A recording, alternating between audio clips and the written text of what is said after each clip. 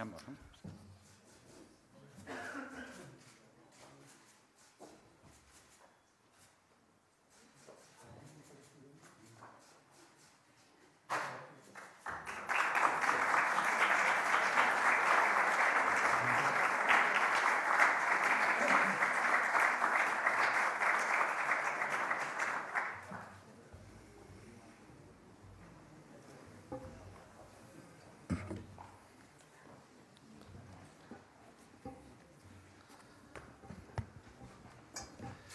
Presidente, consejeros, delegada territorial, miembros de la Corporación Municipal, técnicos de la Junta de Castilla y León, técnicos del Ayuntamiento, muy buenos días a todas. En primer lugar, quiero agradecer al presidente la, amabilidad y el gesto de cortesía de haber querido firmar este protocolo aquí, en el Ayuntamiento, en la ciudad, en, en la casa de todos los leoneses y, por lo tanto, quiero agradecerle este, este gesto. Quiero, en primer lugar, también agradecer su presencia eh, aquí al presidente de la Junta de Castilla y León y de su equipo en nuestra ciudad para suscribir este protocolo que supone, sin duda, un paso muy importante para el desarrollo económico de la ciudad. Todos somos conscientes que el tamaño limitado y la ocupación del parque tecnológico han sido un obstáculo más para el asentamiento de empresas y la creación de empleo, y por ello, este protocolo supone una ventana de esperanza para su crecimiento. La firma de este protocolo supondrá el compromiso de la Administración autonómica con este recinto, cuya ampliación es una demanda histórica que fue aprobada ya en el año 2017 en las Cortes de Castilla y León, y poder así habilitar más espacio para empresas, que es por ello una necesidad acuciante, como quedó de manifiesto en el acuerdo plenario que hace solo unos meses, por unanimidad, reclamó esta ampliación por parte de la Junta, Administración competente y responsable. Con esta firma, la Junta asume su responsabilidad tanto en la ordenación del territorio como en el fomento del desarrollo económico y la planificación de la actividad. Y el interés público de estas actuaciones cuando implican desarrollo urbanístico encaminado al fomento de la actividad económica y, en mayor medida, cuando se refiere a la elevación de cotas tecnológicas. Con este protocolo se pone de manifiesto la necesidad y rentabilidad de la colaboración entre administraciones y la imprescindible coordinación para conseguir resultados positivos. El Ayuntamiento asume pues sus competencias en materia de ordenación, gestión, ejecución y disciplina urbanística para facilitar y agilizar todos los trámites necesarios para el crecimiento del suelo del parque, donde el número de empresas de empleo está en crecimiento y registra una importante demanda de ampliación inasumible por el 20% tan solo de superficie disponible que tenemos hoy. La segunda fase del parque tecnológico, tal y como recoge el protocolo, va a suponer un impulso decidido a una serie de sectores generadores de riqueza y alto valor añadido que tiene a León como centro de actividad, así como en los sectores tecnológicos o el vinculado a la ciberseguridad o la biofarmacia. Los principales objetivos que se definen en este protocolo son la elaboración y aprobación de un Plan Regional de Ámbito Territorial, un PRAT, para la ordenación de los territorios, ejecutar las actuaciones de ordenación urbanísticas para garantizar la disponibilidad de suelo, expropiando las parcelas necesarias para ese crecimiento de terreno y su urbanización, posibilitar las obras y promover todas las actuaciones necesarias para la puesta en funcionamiento y explotación del parque tecnológico, y, por último, prestar los servicios urbanos y de mantenimiento necesarios para el funcionamiento de las instalaciones. Antes de finalizar esta intervención, me va a permitir, presidente, que le formule públicamente una petición que sé que está en sus manos y que me consta la voluntad para llevarla a cabo tras varias conversaciones mantenidas con miembros de su equipo. Conoce que el Ayuntamiento está promoviendo suelo industrial en la ciudad, en concreto casi 1.200.000 metros cuadrados en la zona de Puente Castro. Un proyecto que ya está en marcha y cuyo objetivo y fin es dar respuestas a las demandas de empresas que durante los últimos años y en este momento no han encontrado o encuentran posibilidad de asentarse en León por esa carencia de suelo industrial. Por ello le pido la mayor colaboración, agilización en todos aquellos trámites e informes que dependen de forma directa del ente autonómico que usted preside. Este suelo industrial, junto con la ampliación del parque tecnológico, se erigen en actuaciones clave y estratégicas para el desarrollo económico y social de León. Presidente, estoy seguro de que podremos contar con ello. Le reitero el agradecimiento y la esperanza de los leoneses en que este protocolo que hoy firmamos se convierta en una realidad en el menor tiempo posible. Lo necesitamos. Muchísimas gracias.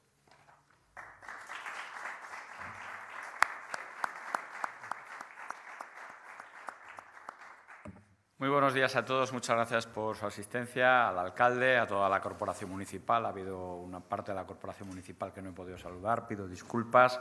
Luego lo haré con mucho, con, mucho gusto y, por supuesto, agradecer también a quienes me acompañan, a los consejeros, a la delegada y a los miembros del Gobierno regional y, por supuesto, a todos los medios de comunicación.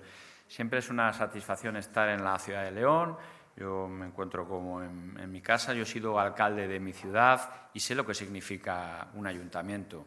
Eh, el ayuntamiento es la casa de todos los leoneses, por tanto me siento también aquí como, como si fuera mi propia casa. Y yo quiero agradecer la amable invitación de la cesión, de, la, de poder disponer de, del ayuntamiento, de la casa consistorial para poder eh, firmar un protocolo de estas características, que es una magnífica noticia para la ciudad de León. Por tanto, muchísimas gracias por esta amable invitación y, como digo, me siento especialmente satisfecho y muchas gracias al alcalde y a toda la corporación por su recibimiento. Decía que esta es una buena noticia para el empleo, para el crecimiento económico. Yo creo que las ciudades, los territorios, si no hay suelo industrial, es imposible el que puedan asentarse las empresas. Por eso tenemos que hacer una apuesta clara por eh, facilitar suelo industrial para que las empresas se, asienten. Y además, eh, especialmente este parque tecnológico va a hacer especial hincapié en los sectores más punteros. Algunos de ellos ya se han anticipado por parte del alcalde. Vamos a dar un nuevo impulso al parque tecnológico. Eh, vamos a ampliar de 32 hectáreas a 79 hectáreas con este protocolo. Eh, mi Gobierno va a asumir la inversión, que va a ser al menos en torno a 10 millones de euros. Está sin definir todavía el proyecto, pero puede llegar incluso hasta los 15 millones de euros. Pero al menos son 10 millones de euros los que vamos a invertir. Nos vamos a encargar desde el Gobierno autonómico de la expropiación y, por otro lado, también de la adquisición de los terrenos. Nos vamos a encargar también desde el Gobierno autonómico de la ejecución de las obras de urbanización y, por supuesto, nos vamos a encargar también de la promoción y venta de las parcelas. Lo que pretendemos es favorecer el asentamiento de nuevas empresas en la ciudad de León y específicamente en el parque tecnológico, Vamos a poner a disposición de las empresas con suelo competitivo, con financiación ventajosa y también con ayudas directas. Desde el Gobierno autonómico, en colaboración con el Ayuntamiento, venimos apostando desde hace años por que este parque tecnológico no solo sea una realidad, que ya lo es, sino que sea una apuesta de presente y de futuro. Es un proyecto ambicioso, lo fue en su diseño, lo sigue siendo ahora en el diseño de los próximos años y además se ha demostrado que es un éxito total. Fíjense, voy a dar algunos datos. 34 empresas instaladas con un volumen de negocio superior a los 100 millones de euros. Son 1.400 trabajadores los que entran cada día en el parque tecnológico. Eh, ha crecido un 15% en estos dos últimos años, que ha sido además eh, años especialmente complejos y difíciles. Es un empleo de alta cualificación y especialmente empleo joven. Y además eh, los dos tercios del parque tecnológico, incluso algo más, está ya eh, ocupado. Por tanto, la fortaleza de León nos pide más terreno industrial en el parque tecnológico y luego hablaré del guante que me lanza el alcalde de la ciudad. Pide más terreno esa fortaleza de León y desde el Gobierno autonómico se la vamos a dar. Vamos a ampliar lo que significa el parque tecnológico, que es un polo de atracción para empresas y es un polo eh, de atracción para el futuro de esta tierra, porque aquí hay empresas, aquí hay emprendedores, aquí hay proyectos que van a incorporarse y a desarrollarse en este proyecto que se abre. Eh, va a ser un suelo moderno, un suelo dotado de todas las eh, tecnologías de, última generación y además que será capaz de atraer nuevos proyectos empresariales. Eh, desde la aprobación del Plan de Interés Regional, mm, que queremos declarar de manera inmediata para facilitar y agilizar los trabajos que ya están comenzando. Quiero decir que lo que vamos a hacer es un proceso complejo, pero quiero que se interprete que este pequeño acto que acabamos de realizar eh, el alcalde y yo significa también a la vez un paso de gigante. Estamos dispuestos a que toda la tramitación que es eh, complicada y compleja eh, se concrete en una realidad a finales del año que viene, iniciando las obras. Y para seguir creciendo, sobre todo para que León siga siendo motor en el ámbito económico de toda la comunidad. Eh, además, hay que aprovechar el nivel de excelencia que nos aporta un elemento simbólico en León y en toda la comunidad, como es la propia Universidad de León. Y, desde luego, eh, tenemos que seguir apostando por el conocimiento, por el talento, por la innovación, especialmente en las áreas de ciencias de la salud, de la veterinaria, la biotecnología, la ciberseguridad, las energías renovables o las ciencias medioambientales, que son elementos en los que León no solo destaca, sino que es un sector puntero. Por tanto, yo creo que desde el ayuntamiento y desde el Gobierno autonómico lo que hacemos es colaborar de manera decisiva para ser útiles a las personas de León. Yo creo que eh, lo hemos demostrado con la firma de hoy en el Parque Tecnológico, lo estamos demostrando también en el impulso del, eh, del, polígono industrial de Villadangos y, por supuesto, lo vamos a demostrar en el proyecto del que acaba de hablar y mencionar el alcalde de la ciudad de León. Yo creo que es importantísimo la colaboración de las administraciones públicas en beneficio de todas las personas de León, de León y, por supuesto, del entorno.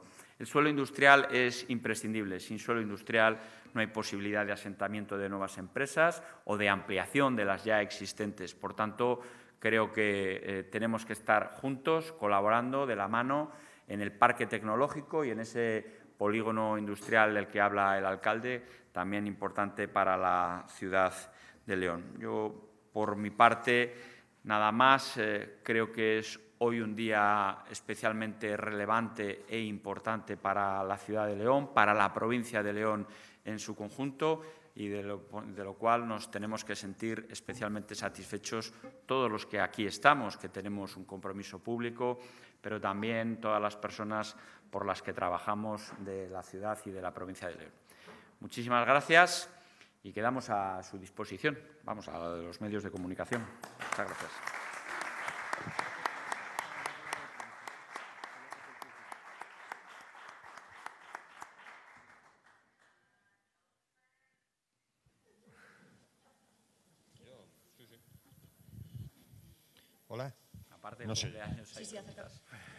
Hola, buenos días. Eh, yo quería saber, el borrador de presupuestos para el año que viene contempla ahora mismo 100.000 euros para precisamente el Parque Tecnológico de León y otros 100.000 para Villadangos. Son las dos últimas, las dos únicas eh, previsiones económicas en suelo industrial en la provincia de León. No sé si eh, se están planteando con este protocolo y las fechas de inicio de las obras de finales del año que viene que nos ha transmitido, enmendar, incluso antes de que lo hagan otros, otros grupos políticos, esas cifras y recoger una mayor inversión. Vamos a ver, eh, un proyecto de presupuestos, eh, bien sea del Ayuntamiento de León, eh, de una corporación local o de la Junta de Castilla y León, es un instrumento vivo. En principio yo he dicho que la intención es que las obras empiecen a finales del año que viene. Eh, tenemos por delante que desarrollar mm, un intenso trabajo administrativo. De hecho, si ustedes se dan cuenta, eh, cuando hablaba el alcalde del polígono industrial que quiere impulsar el propio ayuntamiento, nos pedía más que un apoyo económico, un apoyo administrativo para desarrollar ese suelo industrial.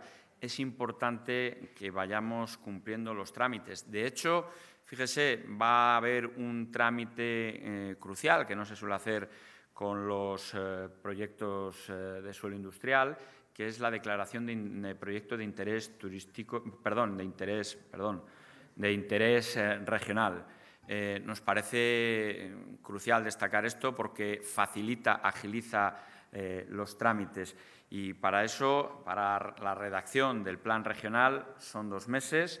Luego la aprobación también tiene otro trámite que se tiene que hacer por decreto y también tiene una duración de unos meses. Luego hay que realizar el proyecto de urbanización, las expropiaciones. Algunos de estos plazos se pueden ir haciendo en paralelo, pero la licitación y la ejecución de las obras, mm, nuestro objetivo es que a finales del año que viene se haya una realidad.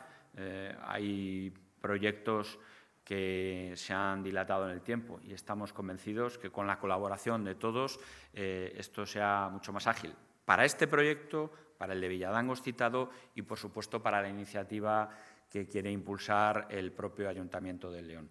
Por tanto, tenemos trámites por delante, hemos hablado de un proceso complejo, de un paso de gigante y si es necesario incorporar más recursos, eh, desde luego haremos el esfuerzo. No necesariamente tiene que hacerse ahora vía enmienda, sino que puede hacerse a lo largo del año que viene en función de cómo vayamos viendo que van evolucionando todos estos trámites administrativos previos. Habla de inicio de obras a final de año y de final de obras y entrada de empresas, ¿en qué plazo estaríamos? Vamos a trabajar para que las obras empiecen a final de año. A lo mejor es al inicio del, a final del año 22, a lo mejor es al inicio del año 23. En cualquier caso, nuestro objetivo es ponernos una meta e intentar anticipar lo más posible. Ya he dicho que proyecto de declaración regional, requiere un plan, requiere la aprobación de un decreto, requiere la aprobación de un, proyecto de urbanización, de las expropiaciones.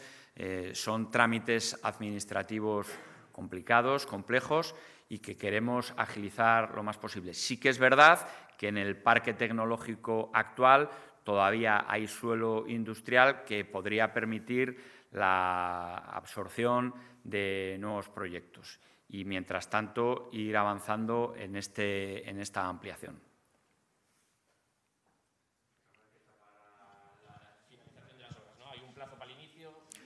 Todavía no hay, todavía no hay proyectos redactados, no hay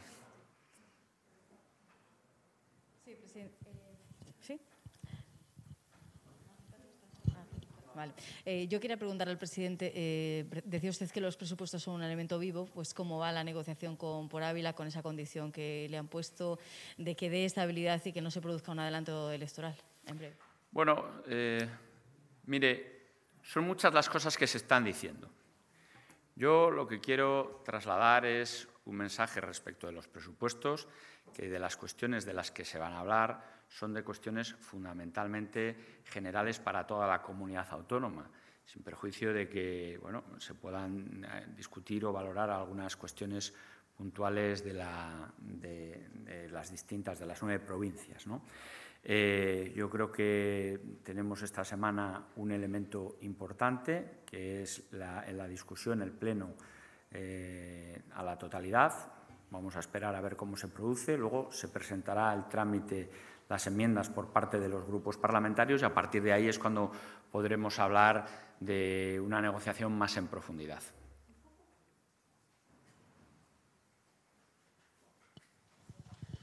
¿Qué tal, presidente? Yo quería preguntarle por el tema, por otro tema diferente a este, el tema de, la pandemia. Eh, se está poniendo mucho el foco en los que no se quieren vacunar. El otro día el vicepresidente hablaba de, de posibles limitaciones o medidas restrictivas. No sé si realmente su gobierno eh, ¿Es solo una idea o realmente está avanzando en esa posibilidad? Vamos a ver, creo que es importante eh, trasladar a toda la sociedad la importancia de la vacuna. Yo creo que la vacuna ha permitido que podamos desarrollar un acto de estas características hoy aquí y que estemos recuperando con cierta normalidad nuestra vida cotidiana, pero hay personas que todavía, por unos motivos o por otros, han decidido no vacunarse.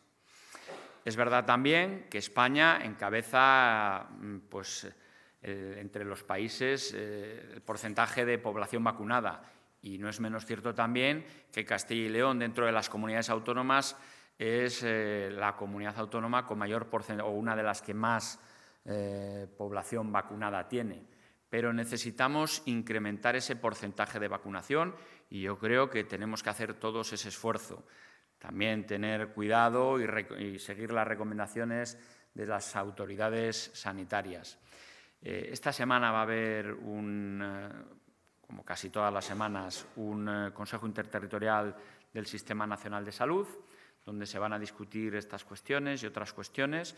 Eh, y creo que hacer un llamamiento a la población que no se ha vacunado que dé el paso y que se vacune, no ya por ellos, que también, sino por la población en su conjunto, es muy importante. Y, por tanto, eh, pues estamos estudiando en aquellas cuestiones que no son, no son solo cuestiones sanitarias, que ya están eh, estamos analizando otras cuestiones como mm, eh, cuestiones jurídicas o cuestiones económico-sociales, eh, son importantes tener en cuenta a la hora de seguir tomando decisiones de cara al futuro.